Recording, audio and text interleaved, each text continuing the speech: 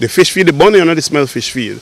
So you had um, the person that was making the most noise about my fish feed here in Maskall live almost a mile away from my fish pond. But yet the fish feed and the fish pond was affecting her.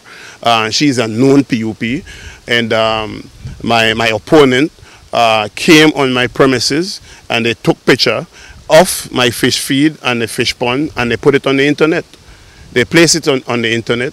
Uh, they didn't get uh, much uh, political traction there as well. So they went out uh, about a couple weeks ago, maybe a month or two ago, and they brought Channel 5 because people were complaining. Had to be something wrong. They didn't smell no, no fish feed. They didn't smell no, no odor. They never see people can't eat. People look for vacate the, the village of Maskall. None of that is pure political nonsense. They're trying to gain political traction and you know help them on at all. So the next the next step is in the step of slaughtering my animal was to send him one, one scare message, scare tactics. But I know um, that no persuade me. Now, this is an area where um, the, the roof of your cabanas they're attached. This is a village setting. It's a dry season.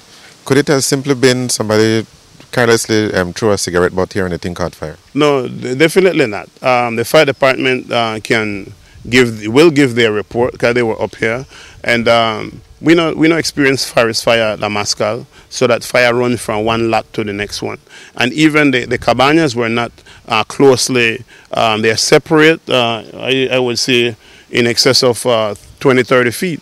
So it's clearly that they light one, light the next one, light the other one and the target was to light and make sure that they they they burn out some of the fish feed so they could probably hopefully they're feeling good right now.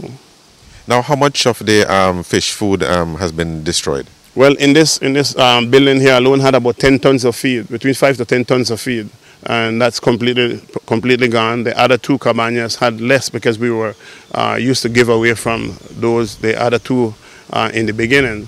So they had probably maybe a ton or, or two in each one. How much uh, will this set back uh, the project? Uh, basically, the, the, the, feed, we never did sell nobody feed. We donate feed because the feed, uh, 60 tons of feed, I think, was donated to, to us. And so whenever people, as far as Ladyville or wherever they are, want fish feed, they could come and they could get take a bag of fish feed. Uh, it was never a problem. We never charged nobody for, for fish feed.